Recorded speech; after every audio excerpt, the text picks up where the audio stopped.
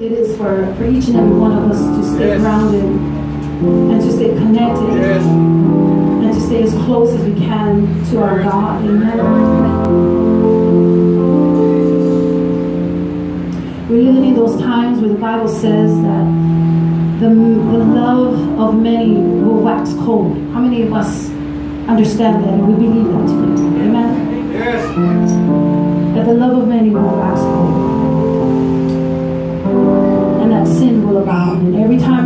social media, it gets a little depressing.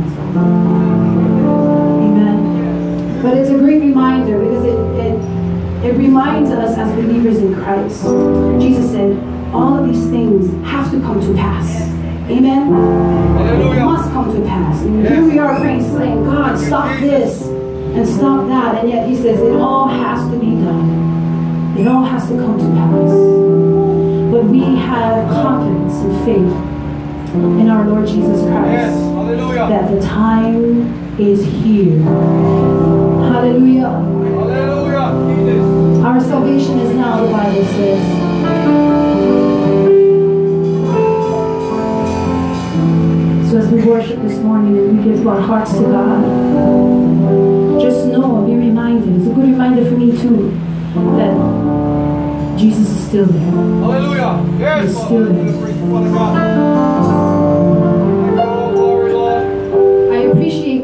Sunday school messages we had when we were growing up, right? Sunday school, youth service. My mom made us memorize all of these scriptures. And back then it was like, well, we gotta memorize this, all right? Now as an adult, I understand why.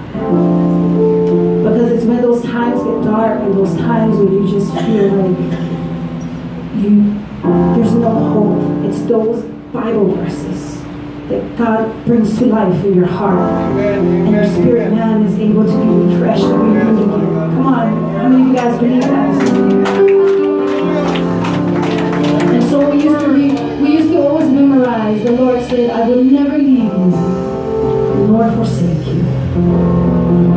And today, that's a verse that we hold true, especially in these times that we are living in. Jesus said, I will never leave you or forsake you.